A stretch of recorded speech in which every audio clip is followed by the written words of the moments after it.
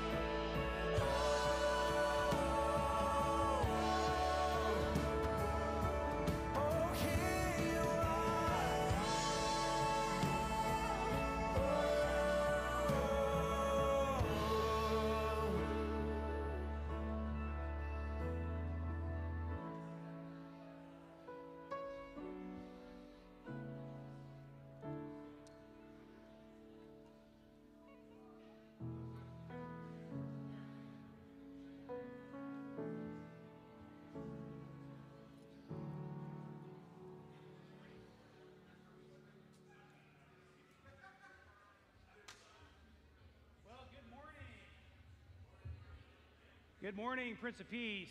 It is good to see you. And, uh, you know, I think I'm going to have to, Eric, I might need to use your sunglasses this morning. No, I'm, I'm kidding. Uh, but boy, is it bright in here, and uh, that's good. So, well, welcome to worship. And what we're going to do is I want to invite you all to stand.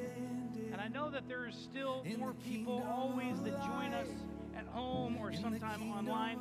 There's a camera over, over my left shoulder on the wall, and I want you to wave to people at home. They can see, so they can see your face, and I want them to wave to you. And then now I want you to wave to each other as we begin opportunity to worship. Welcome.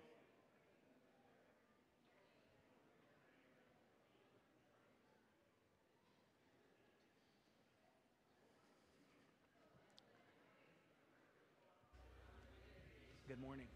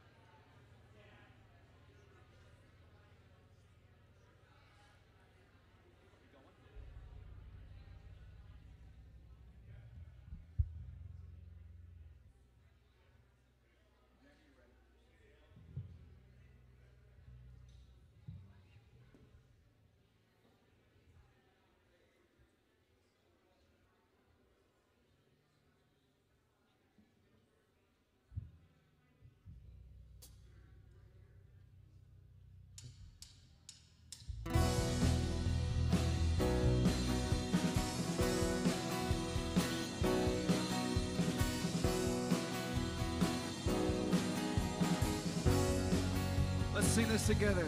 Giver of every breath I breathe, author of all eternity, giver of every perfect thing, to you be the glory. Maker of heaven and of earth, no one can comprehend your worth. King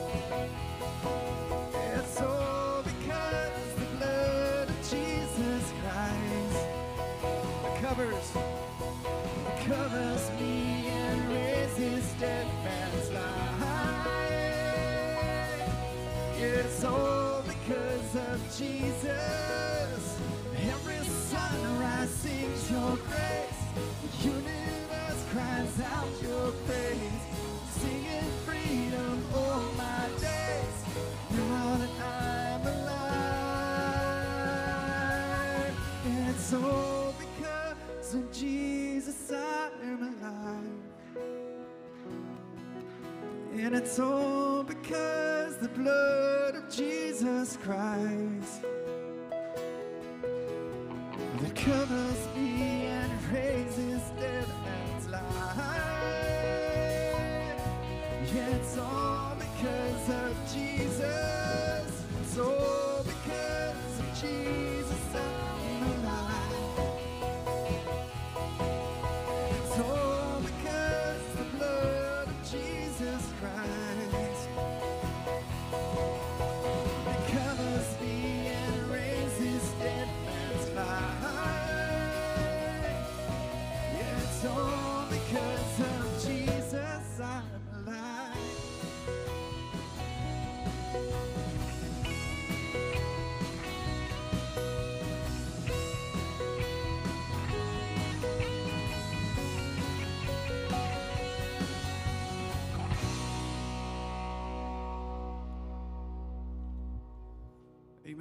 pray with me? Father, we thank you that you have made us alive by the blood of your Son at a cross, a cross that covered our sins, our shame, and made us forever alive with you. And we thank you that you have given us this joy, this hope to stand in, knowing that we are your children. We are free, we are loved. We've been given mercy, grace, peace that passes all understanding through whatever might come our way, uncertainties of this life, and uh, and we thank you for that freedom that we have. Uh, when so much around us uh, seems to be uh, in chaos, God, you bring stability, you bring peace, and we know that because you have set us free at the cross uh, by the blood of your Son through his resurrection. We look to one day where sin is gone, pain, suffering is totally eliminated, and that we can just revel in your glory, even now being seated with you in the heavenly realms. We know that that's who we are, that's where we are, and we can walk through this life with purpose, with hope, and in the peace that you give us. It's in Christ's name we pray. Amen.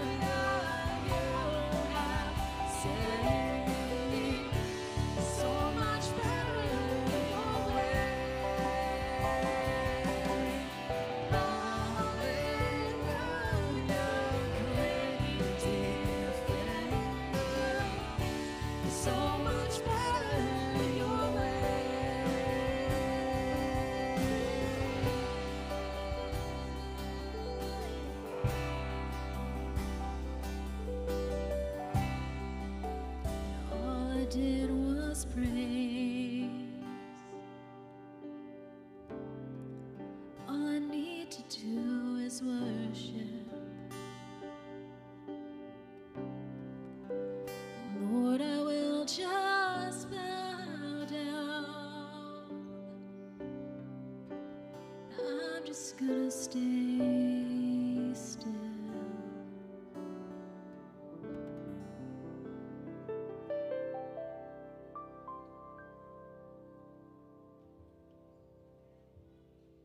The Bible often talks about coming back to the Lord. When you've drifted far from Him, you have broken off your relationship with Him it's only natural for us to, to say, Lord, what must I do? What do I have to do to get back into your good graces? And over and over and over, God says just this just return to me. Just come back. Come back into that relationship. And how do we do that? We come back through confession and repentance, and crying out to the Lord. You were right all, all along. The Lord, please be merciful to me, a sinner. No matter what you've done, no matter where you've gone, no matter how far you've drifted, the Lord just says, Come back. Return to me and confess and receive once again that re- restoration of our relationship. And so come with me as together we confess our sins. Lord, as your people, we cry out to you, Lord, we come before you today reminded of our frailty. We admit that we're not strong as we think we are. We recognize that too often we have sought to find our identity in our successes, accomplishments, and earthly relationships. We have not seen others through your eyes, but in our sin have judged others and their worth wrongly. Lord, in your mercy, forgive us. Dear brothers and sisters in Christ, He welcomes you back. And I want to assure you of this that the Lord has heard your confession, has pronounced that you are forgiven in His name. He has declared that, that the sins you have committed in the past have been wiped clean and that they do not define you. Your identity is rooted in being a child of the Heavenly Father. And we respond by saying, Remind us, Lord, that the true pur- purpose and fulfillment are found in a deep relationship with you. Draw us close in the assurance that in you we have all that we need. Together we confess who God is for sinners like us. And we creates this community called the church, and we do that through, we confess that through the words of the Apostles' Creed. Please join me. I believe in God the Father Almighty, maker of heaven and earth and in Jesus Christ, his only Son, our Lord, who was conceived by the Holy Spirit, born of the Virgin Mary, suffered under Pontius Pilate, was crucified, died, and was buried. He descended into hell. The third day, he rose again from the dead. He ascended into heaven and sits at the right hand of God the Father Almighty. From thence, he will come to judge the living and the dead. I believe in the Holy Spirit the holy Christian church, the communion of saints, the forgiveness of sins, the resurrection of the body, and the life everlasting. Amen. I invite you to be seated. So, here at Prince of Peace, we believe that uh, the home is a really important place for spiritual formation and discipleship. And uh, God has set aside moms and dads and grandmas and grandpas and neighbors and lots of different people that can come alongside the family to help them to disciple their children. But a really, really important place where they where there's partnership there is a school, and in particular, one of our uh, key partners in the gospel, Prince of Peace Christian School. So today, the upper school. Uh, I don't know if Ashley Ashcraft is here uh, or not. She's the principal of the upper school, new principal this year. And so she, she, along with the upper school, have our Faith at Home message for us today.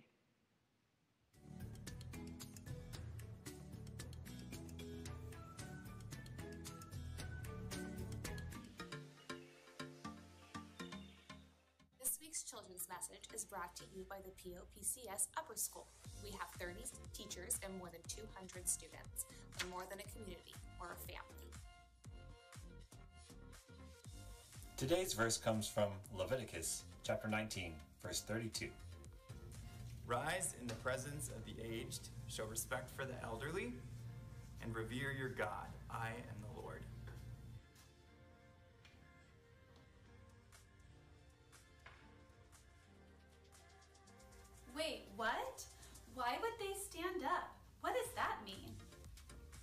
Standing up means showing respect to someone else. It's recognizing that they're worthy of our respect and care.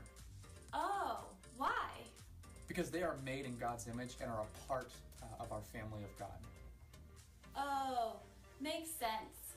Showing honor, respect, and care to our elderly family and friends is just one way uh, that we show God's love and God's care. So, I should always stand up when someone's older than me? You can, uh, but the verse is actually talking more about how we treat, care, and love elderly people. Will you please pray with me? God, thank you that your family is full of young people, older people, and everybody in between.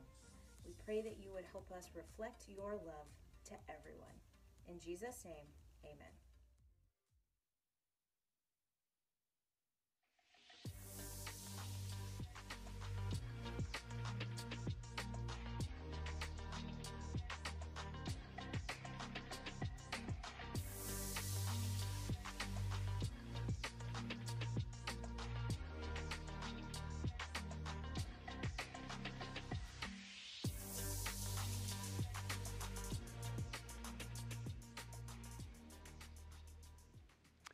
Morning, Prince of Peace. If you're new here, I am Dan, one of the pastors here, and we are a BYOB church. Bring your own Bible. So if you have your Bibles, I would encourage you to open up to Leviticus chapter 19. Again, that's in the Old Testament Genesis, Exodus, Leviticus, way up towards the front. Leviticus chapter 19, verse 32. You shall stand up before the gray head and honor the face of an old man, and you shall fear your God. I am the Lord. Therein lies our text for today. The last four weeks, we've walked through a sermon series entitled Let's Talk About It. We looked at physical health, mental health, what it is being single, being married, and today we're looking at honoring the elderly and asking a question How are we doing in honoring the elderly? And Pastor Mike, I know where you're at. I dimed him out earlier. Thank you for giving me this one today. But the gray hair thing, they were making jokes all week, uh, and Katie as well. Uh, but here we are. So, how are we doing honoring the elderly? And how can we talk about it? In vetting this out this the last couple of weeks, I had uh, quite a few responses on this one, and uh, it's interesting. When we were living in Mexico, we lived in Mexico for about four years uh, with our family. And while we were there down in Merida, Mexico, it's a little place about uh, 1.1 million people. It's on the Yucatan Peninsula. Uh, we had a great time down there, but safe to say Mexico has some problems. After living there four years, I feel I've earned the right to say I think Mexico has some problems. However, with that being said, uh, some things they do really well. And I think honoring family, honoring the elderly, is one of those things they do really well. Um, they have the uh, Day of the Dead, which is kind of a little spooky, but you know they have a little shrine set up in their homes. This is on November 1st, and they'll have you know Grandpa's can, empty can of beer and the sandwich he liked to eat, and they leave it out there, and all day long they kind of look and they walk around it and they think about Grandpa and all this kind of thing. We would kind of say, well, it's kind of like maybe going towards voodoo, you know, it's kind of like you know, but but it's, it's nice that they're honoring uh, the elderly and they're looking to family and they lift up family. When family gets old and or older, they become the gray hairs or less hairs. Um, the families generally tend to bring their seniors back home to live with them. And that's kind of the move they make. Now, when you, it gets to be too much to handle them, they will go ahead and you know, they'll work out an arrangement with a nursing home or assisted living, kind of like we do here. But the first move is they come and live with you until you can't do that anymore. It's almost as though when you get in these conversations with them, there's kind of shame on the family when their loved ones are in a nursing home and, and they kind of have to say, well, you know, uh, you know, they've got Alzheimer's, it's really bad, we can't get. So the move they make is they're kind of defending that decision because culturally, we, we don't do that. We don't do that, and, and they just they take care of family. So, um, unpacking that a little bit, I say, okay, that was over in Mexico. How are we doing with that issue in the U.S.? When we lived out in Cisco, out in West Texas, it's about hour and a half, two hours west of here, off of I-20, going towards Abilene.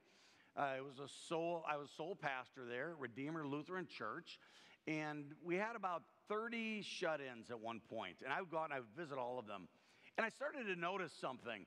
Uh, in these nursing homes and in these assisted living centers, I was kind of like the only one there. I mean, as far as clergy or family or, and so I would ask uh, the some of the nurses, and you know, what what is the percentage of people who don't get visitors? And I kept hearing, I asked that multiple times at different places, and 70 to 80 percent was the number that kept coming back to me. 70 to 80 percent of the people in nursing homes and assisted living centers have zero visits. Zero. I was taken back by that. I, I think that is a scary number. That's a hurtful number. That's a number I think we kind of uh, need to own a little bit. So, as we're looking at what is the perception of the world, the perception of our country in particular, in reference to how are we honoring the elderly. And I wanted to sort of look at this and take COVID out of it because I think we can all say COVID and the elderly, it, has been a train wreck this last year and a half. So let's push that out of the way for a moment for sake of this conversation. And so, how are we doing with the elderly? So, a lot of times, pastors, we will look to Barna, the Barna Group, we'll look to Pew, Pew Research, or uh, Kinnaman, or these are some of the sources we go to to sort of get a pulse on what is happening. Who, how are they polling? But there's very little in any of those sources on honoring the elderly or how are we addressing the elderly or how do people look at the elderly. So I went this last week and a half, I did my own study. And I interviewed 15 or 20 people. Some of you in here I probably talked to. I interviewed teenagers. I interviewed early 20s that are in college. I interviewed uh, late 20, early 30 somethings with small children. I interviewed baby boomers. I interviewed seniors. I interviewed some that are here in Texas and part of our congregation, some that are out of state, um, different cultures. I tried to get kind of a litmus on this whole thing of how we are doing honoring the elderly. And when we look to the elderly, uh, here's some of the, the, comments that were, it was starking. Uh, what I was told the elders are disrespected, they're brushed off, they're overlooked, disregarded, pushed aside, lost, put down, bypassed, inconvenient, forgotten, neglected. What's in it for me when you look at the seniors? Not valued. Uh, some, has, some said that the youth are more interested in social media. They're so engrossed in social media that they just they disregard them and they don't. Now, let me say that going down this path, I know we're all going real quick, but most of the harsh language I heard was from the youngest groups who said this is a problem and this is a challenge for us.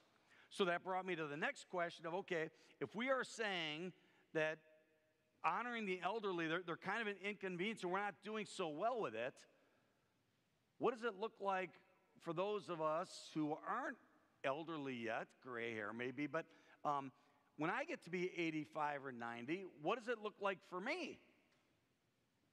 And then the backup question to that if I don't like the answer to that, how am I imitating Christ and how am I raising my kids to honor the elderly at this time?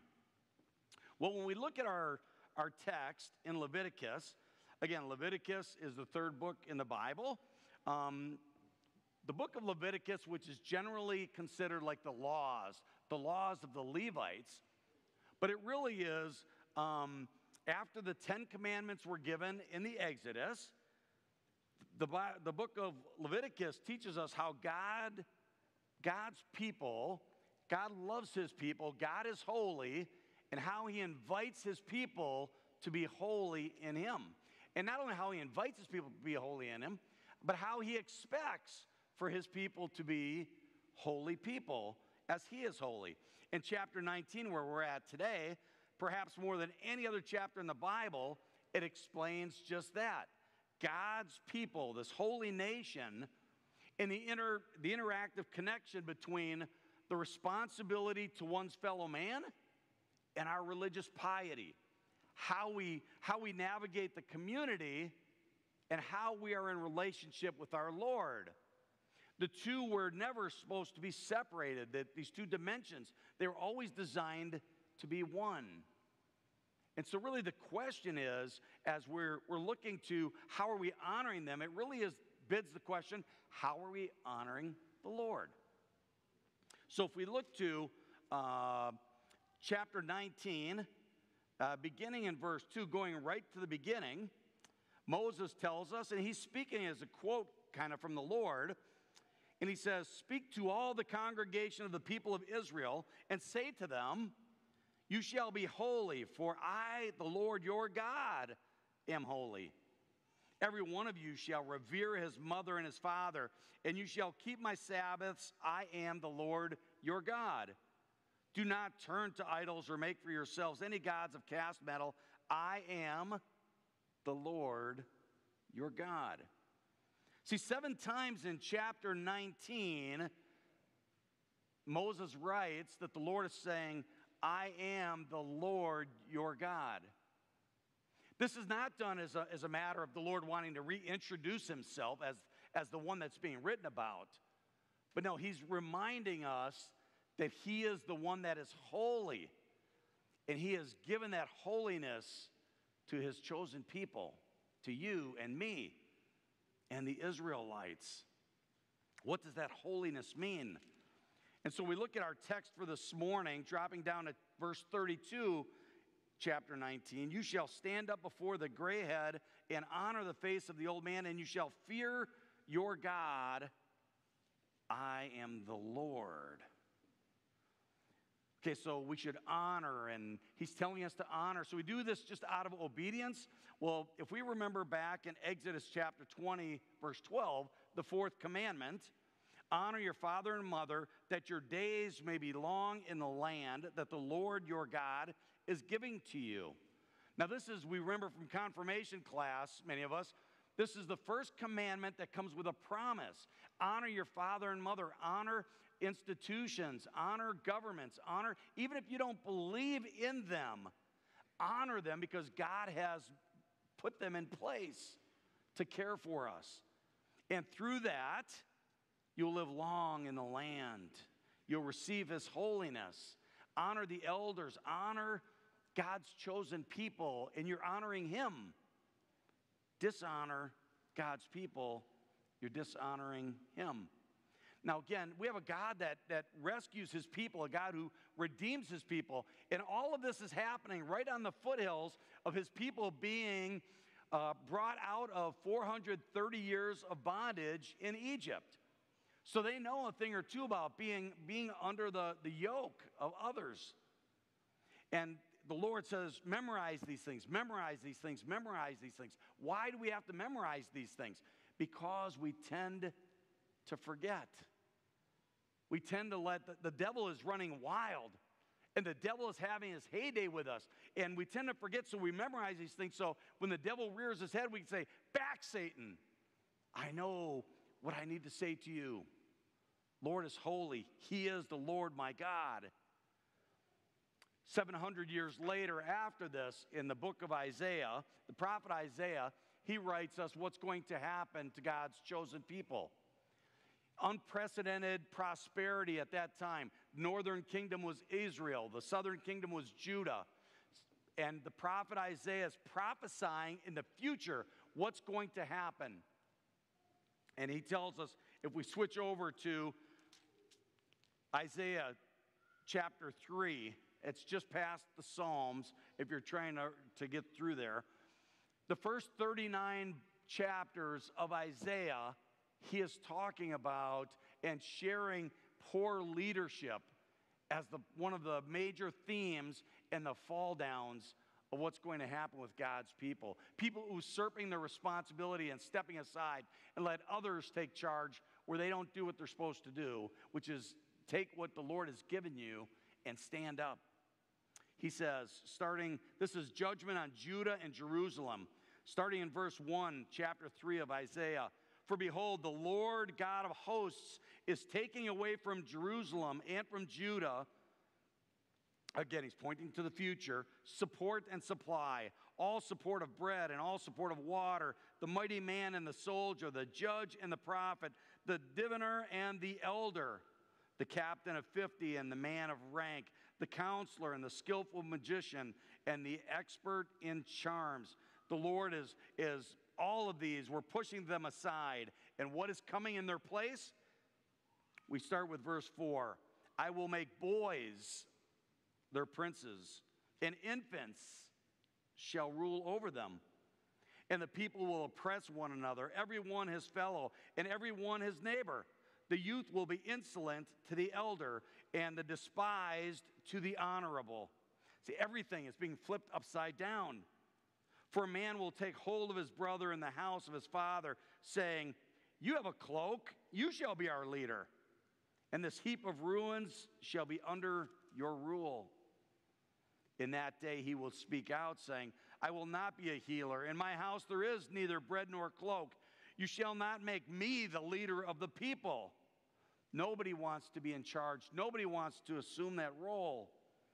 For Jerusalem has stumbled, verse 8, and Judah has fallen, because their speech and their deeds are against the Lord, defying his glorious presence, being his commands. And then in verse 12, my people, infants, are their oppressors. See, brothers and sisters, these are harsh words. I realize this is kind of dark, but this message this morning is based on these interviews. I heard very little positive the last week and a half saying, How are we honoring our elderly? And most didn't even want to talk about what it looks like during COVID. But these are warnings to us.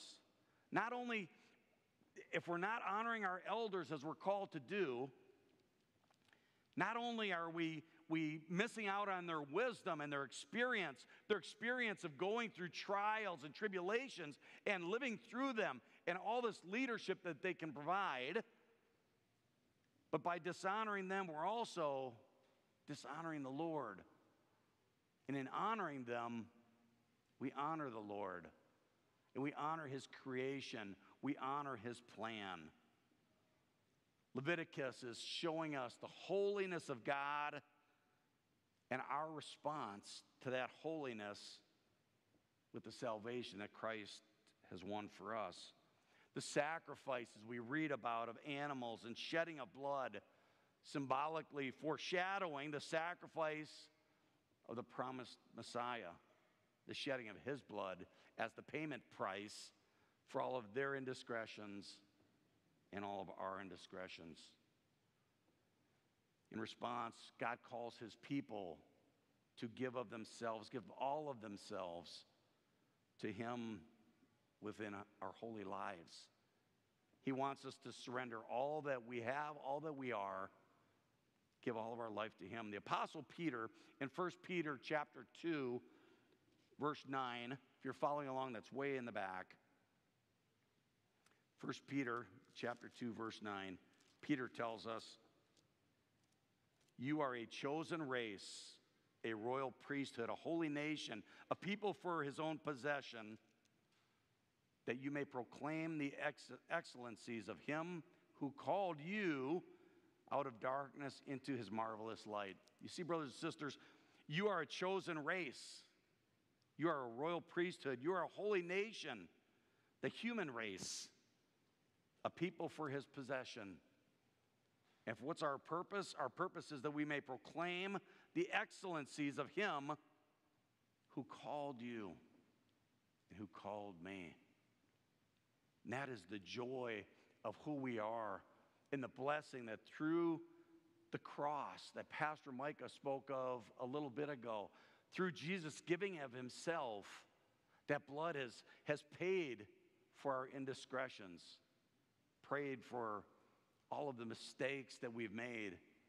And even though our life might be a wreck, and even though we have challenges, and even though we can't pay our bills, and even though we're tired of hearing about the Delta variant, and even though the nitwits in Washington are fighting each other, and even though all of these things are going on, and we feel this anger and sometimes hatred, we feel all these things. Our Lord on the cross says, I will define you. You belong to me. And here are some of the words I have to define you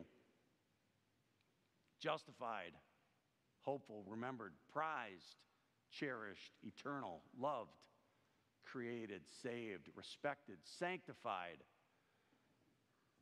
Those are the words our Lord uses to describe you and to describe me.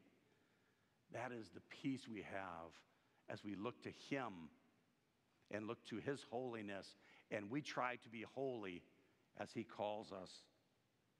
Here, Prince of Peace specifically, we have a lot of room for encouragement, for great encouragement. We have a lot, doing a lot of great things here. Pastor Saber, I don't know if he's in here. He was in here earlier, but Pastor Saber, there he is. Pastor Saber is our care ministry pastor. If he has visited with any of you, your families, you know Pastor Saber is awesome. He drags his guitar out there, he plays for everybody. He is walking in the Lord, and that is, is a wonderful blessing. We have our Sunshine Ministry, which Ron Clare, he was in here earlier. Ron Clare has got a whole group together, and they're going out and they're visiting with shut ins and with seniors and showing them the joy of Christ and showing them how valued they are. Our high school students are taping faith stories and they're putting these things on YouTube and they've done a whole studio over there and, and they're honoring the elderly this way. So we have a lot of things going on. The uh, seniors are having a, their 40th anniversary celebration again. And Pastor Holdorf mentioned that the baby boomers and those younger, they put this whole thing together and they serve them. And so we have a lot of things going on. And where are the fruits? The fruits of all of this?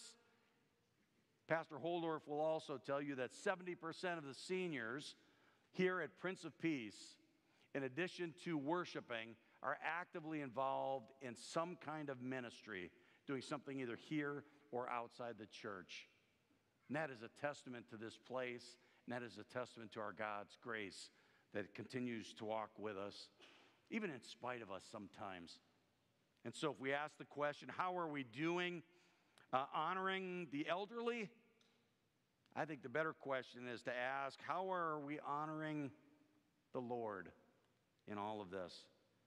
I'm glad to report that here in just a few minutes, we're going to be honoring the Lord as, in His holiness as He honors us as we sit at His table and enjoy His body and His blood for the forgiveness of sins and the promise of our salvation, where we can live with Him in all eternity and our loved ones who've gone ahead of us. Because He is risen. He is risen indeed. Hallelujah. In Jesus' name, amen. If you'd pray with me. Lord God, Heavenly Father, we thank you for bringing us to this place. We thank you, Lord, for allowing us to pray and worship you and, and prepare ourselves to receive your true body and your true blood that was given to us at a huge price the blood of your one and only Son.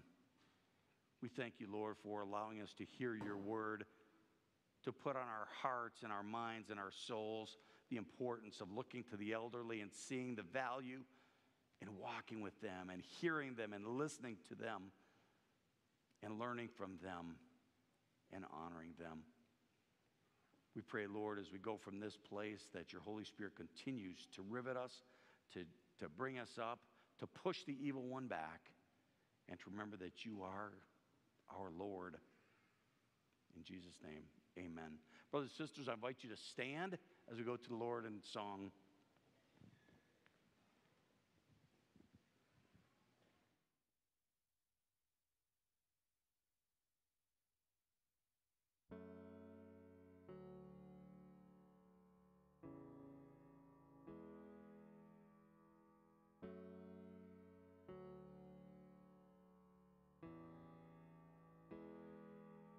When you speak, confusion fades.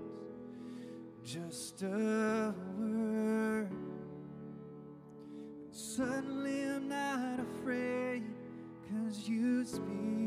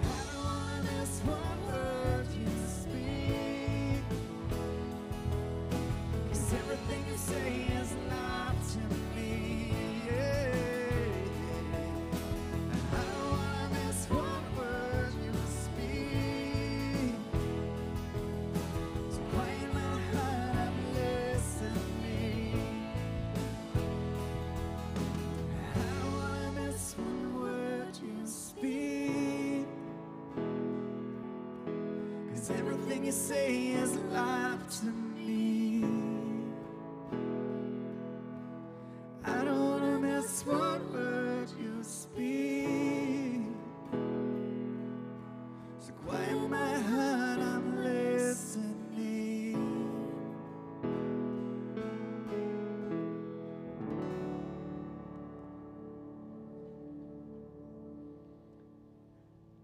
invite you to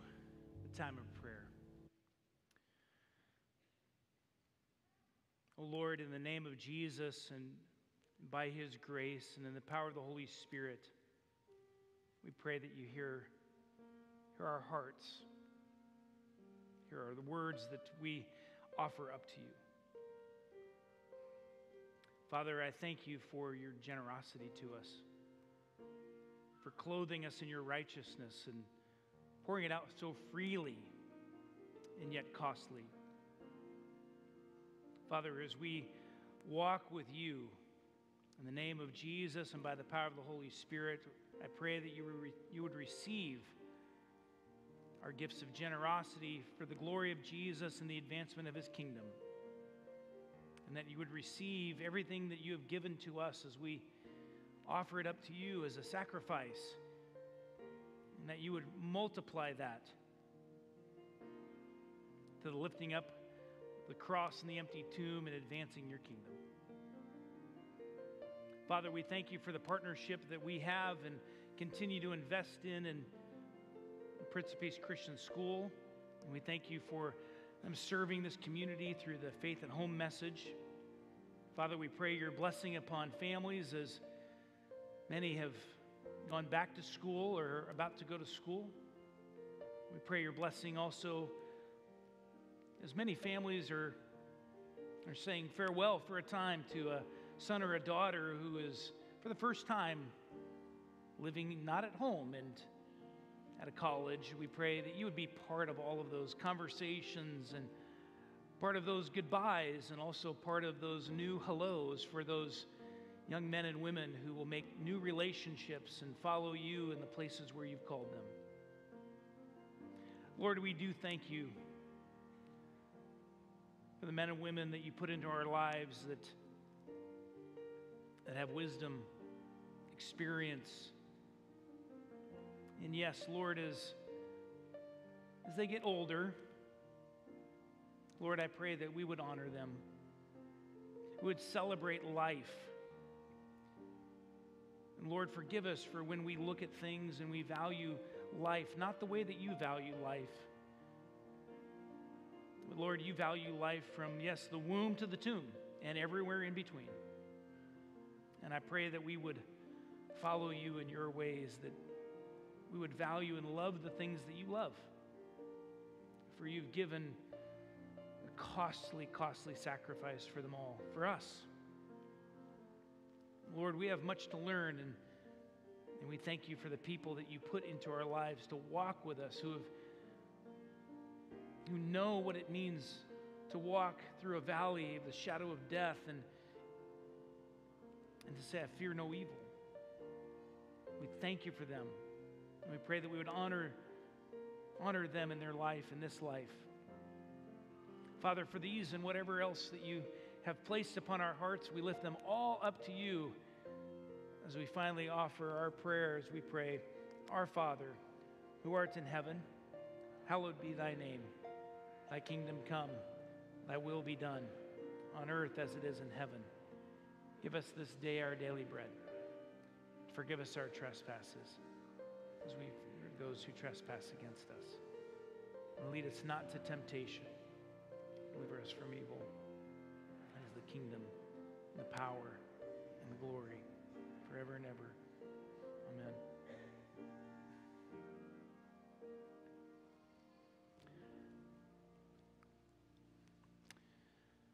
So I pray that as we go from here, I pray that especially for those of you that are joining us at home, whenever it is, that, uh, that you would know that you're, you're not alone. And so receive that, that blessing, that benediction, that name of God. May the Lord bless you and keep you. The Lord make his face shine upon you and be gracious unto you. The Lord lift up upon you his favor may it be upon you now and forever. In the name of Jesus. Amen. I invite you to be seated.